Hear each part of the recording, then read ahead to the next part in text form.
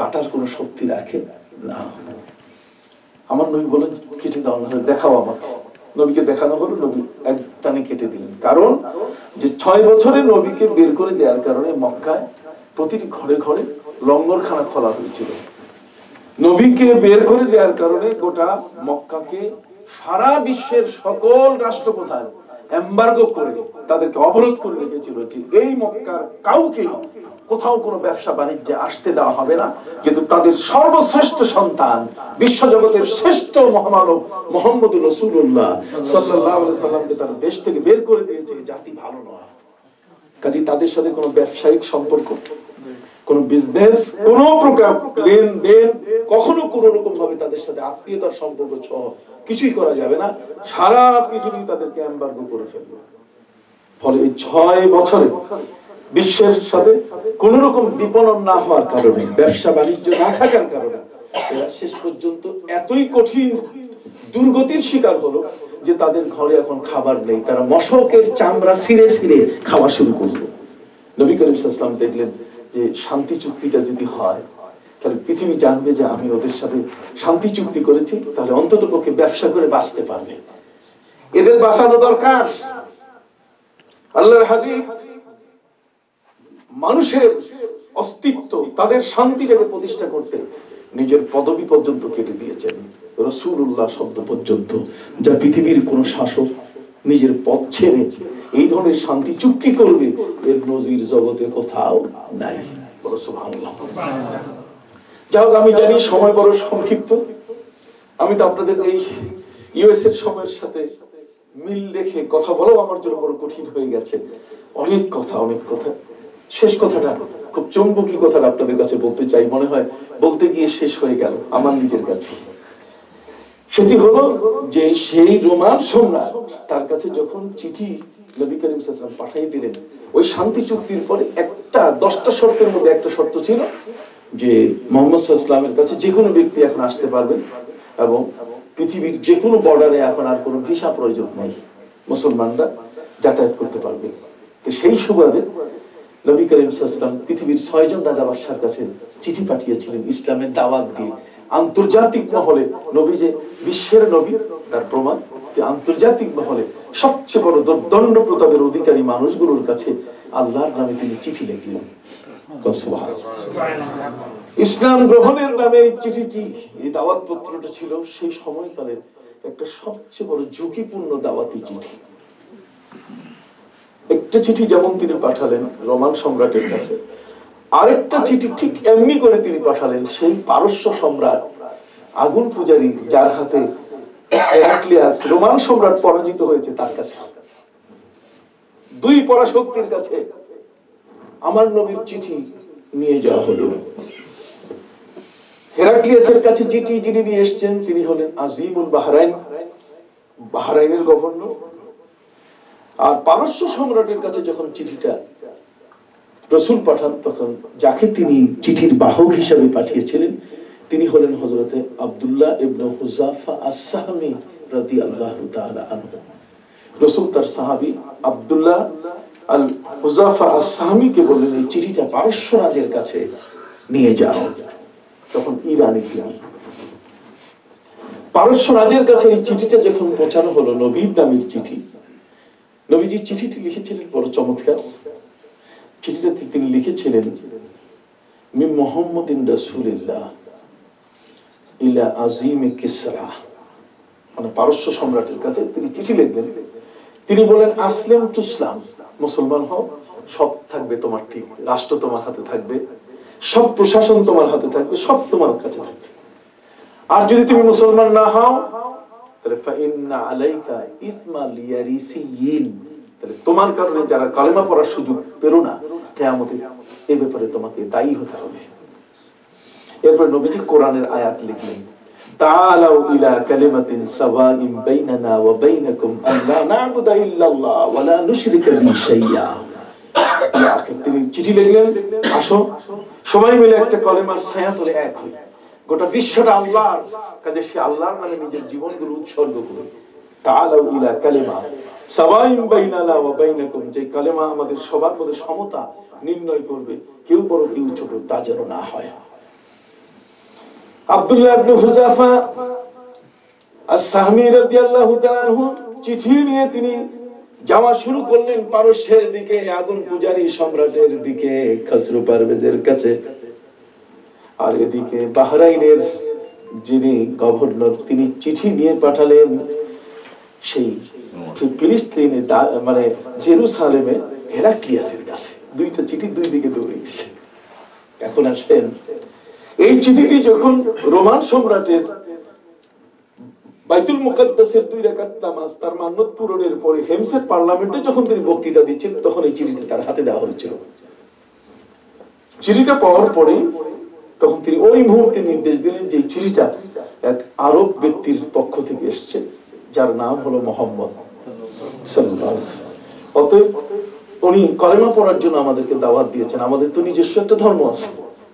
আমাদের ধর্ম বাদ দিয়া আরেকটা ধর্মের দিকে ডাক দিছে। অতএব ব্যবসায়ীদের মধ্যে একদলকে তিনি বলেন, তোমরা একটু পাশেই সিরিয়া, একটু খুঁজে দেখো। এই শাম দেশ, এটা হচ্ছে বর্তমানের চায়না। চায়না যেমন সারা দুনিয়ার মানুষ ব্যবসা করতে যায়, সেই সময়কালের চায়না ছিল সিরিয়া। এটা বিপণন কেন্দ্র। কাজেই তিনি পাঠিয়ে দিলেন যে কোনো আরব বণিক, কোনো ব্যবসায়ী যদি সেখানে আসে তাকে নিয়ে আসো তার সাথে আর এই চিঠিটা নিয়ে একটু কথা বলব। এই চিঠিটাকে তিনি নিজের হাতে রাখলেন, একদল চলে গেল, সিরিয়ায় বণিক দল, ব্যবসায়ী খুঁজতে। যে আরব কোনো ব্যবসায়ী সেখানে ব্যবসা করতে আসছে কি? না। ওদিকে যে চিঠিটা নিয়ে পারস্য সম্রাট খসরু পারভেজের কাছে রসুলের সেই সাহাবি আব্দুল্লাহ ইবনে হুজাফা সাহাবি রাদিয়াল্লাহু তাআলা যখন নিয়ে গেলেন, তখন খসরু পারভেজের হাতে চিঠিটা হস্তান্তর করলেন। চিঠিটাতে আমার নবীর এই কথাগুলো শোনার সাথে সাথে তেলে বাগুনে জ্বলে উঠল পারস্য সম্রাট। সাথে সাথে সে তার জল্লাদকে ডাক দিয়ে বলল যে, চিঠির বাহক তাকে টুকরা করে ফেল। ওই মুহূর্তে রাজদরবারে চিঠির বাহক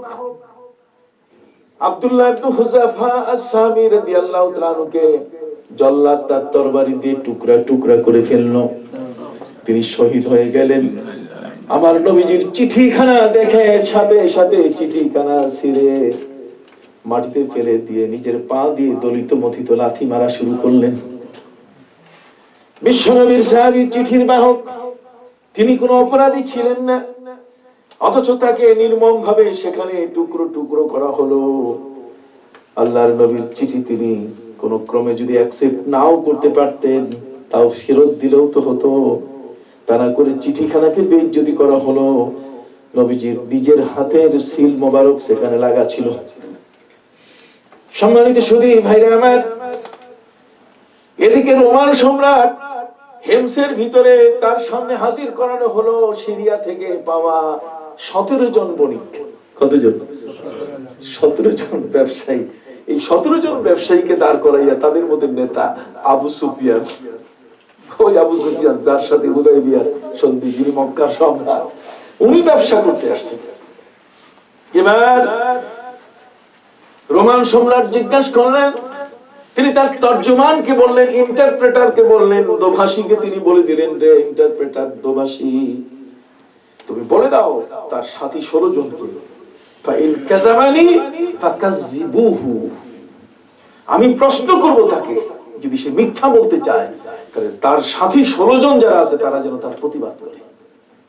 আমি সত্যটা জানতে চাচ্ছি। কথা বুঝতে পারছেন? ফাইন ফাকাযিবুহু। সম্মানিত সুদী, তিনি প্রশ্ন করলেন এগারোটা। কয়টা?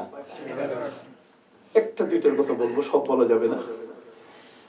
একটি হলো, তুমি বলো দেখি মোহাম্মদ।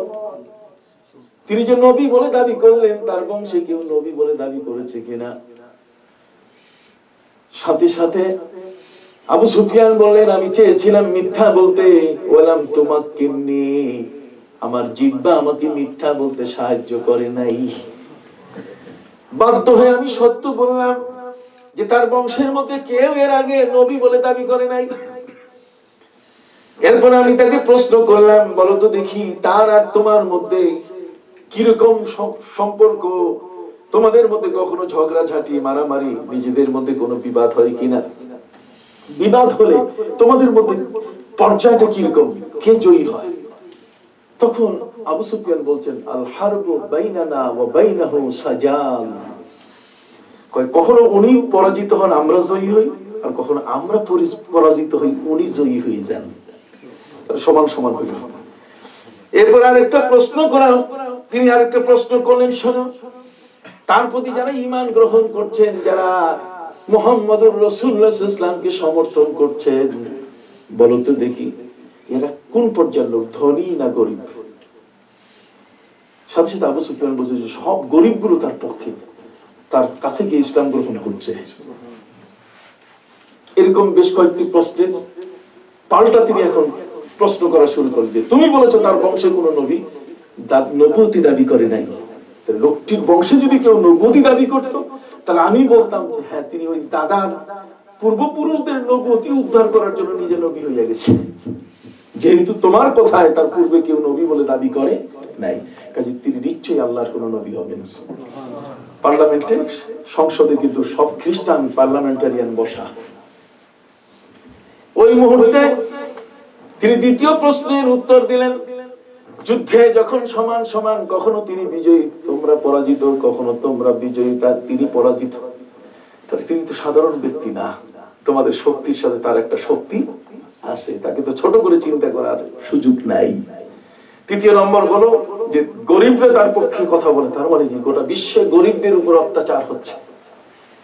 কতক্ষণ না, এই যে আমাদের দেশি দেন গার্মেন্টসে বারো ঘণ্টা খাটে তার মধ্যে এখন তো চার হাজারের উপরে বেতন হয়েছে, তখন তো আড়াই হাজার, তিন হাজার। না, তার ঘর ভাড়া দিয়ে তারা খাইতে পারে, না কাপড় চোপড় চিকিৎসা তাদের বাচ্চা পড়াইতে পারে। কথা বুঝতে পারছেন? গরিবদের উপর অত্যাচার। আর আমার নবী, সেই সময়কালে যারা গরিবদের দিয়ে কাজ করে, তাদের মায়না দিত না। নবীজি বলছেন, আতুল আজিরা হাক্কাহু কাবলা আন ইয়াজিফা আরাকু। নবীজি বলছেন, শ্রমিকের গায়ের ঘাম শুকাবার আগে তার পাওনা পরিশোধ করো। শ্রমিকের গায়ের ঘাম শুকানোর আগে পারিশ্রমিক দিয়ে দাও, তার পাওনা দিয়ে দাও। সারা বিশ্বে বিশ্ব নবীর এমন একটি ডাক গোটা পৃথিবীর শ্রমিক- শ্রমিকদের পক্ষে জাগরণ সৃষ্টি করেছে। নবীজি শ্রমিকদের ঘামটার মূল্য দিয়েছেন কত বড়। কোন সুবহান আল্লাহ আল্লাহর হাবিব বলে দিয়েছিলেন আতুল আজিরা হাক্কাহু। শ্রমিককে তার পাওনা দিয়ে দাও কাবলা আইয়া যে ফারাকো, তার ঘাম শুকাবার আগে। দেখছি যে আমাদের পক্ষে কথা বলার কেউ নাই। মেজরিটি পার্সন তো গরিব, কি বলি, ঠিক কিনা? ধনী তো আঙ্গুল ফুলে কলা গাছের সংখ্যা কম। কথা বুঝতে পারছেন? কিন্তু গরিবের সংখ্যা কি? বেশি, এই জন্য নবীর পক্ষে। শেষ পর্যন্ত এই হেরাক্লিয়াস বলছে যে, আমি তোমার কথাই বুঝে ফেলছি যে উনি একজন সত্য নবী। কিন্তু আমার বিশ্বাসই হচ্ছে না যে উনি তোমাদের মাঝে কি করে আসতে পারেন। ওলাম আকু আজুন্নু আন্নাহু ফিকুম। আমি বিশ্বাস করতে পারছি না যে মোহাম্মদ সাল্লাম তোমাদের মধ্যে এসে গেছেন, এটা আমার বিশ্বাস হচ্ছে না। কারণ কারণ হচ্ছে একটাই যে তোমরা এমন একটা আরব জাতি, উটের লেজের মধ্যে গামছা পেঁচাইয়া কেরোসিন তেল ঢেলে তারপর আগুন লাগাই দাও। উটটা যখন তার লেজ জ্বলা শুরু করে, তখন যাতনায় উটটা লাফা শুরু করে। আর তোমরা একজন আরেকজনের গায়ে ঠেলা ঠেলি করে হাতে তালি দিয়ে বলো যে কি সুন্দর ড্যান্স দিতেছে। ওর পুড়ে যাচ্ছে লেজ, আর এরা কইতেছে ড্যান্স দিতেছে। করতে পারেন, তোমাদের মানবতা কত নিম্ন স্তরে? তোমাদের মনুষ্যত্ব কত নিম্নে? একটা পশুর লেজ জ্বলে যাচ্ছে, পশুতেই সেই চাতুনায় লাফালাফি করছে, আর তোমরা বলতেছো, কি সুন্দর ড্যান্স দিতেছে। তোমাদের সমাজে যদি কোনো ব্যক্তি যদি ঋণ পরিশোধ না করে মারা যায়, তাহলে তোমরা কবর থেকে লাশ তুলে তারপর পিটাও। তোমাদের কাছে মা, মেয়ে স্ত্রীর ইজ্জত নিরাপদ নয়। দাদা মরার সময় নাতিদেরকে উস্কাই দিয়ে যায়।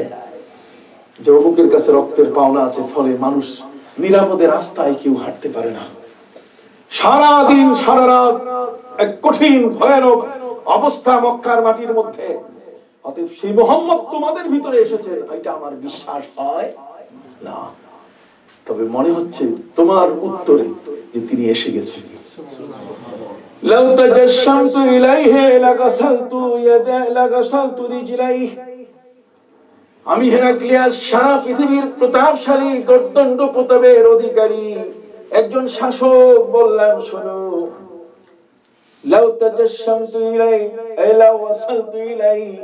যদি এখন মদিনায় সেই নবীর কাছে আমার যাওয়ার সুযোগ হতো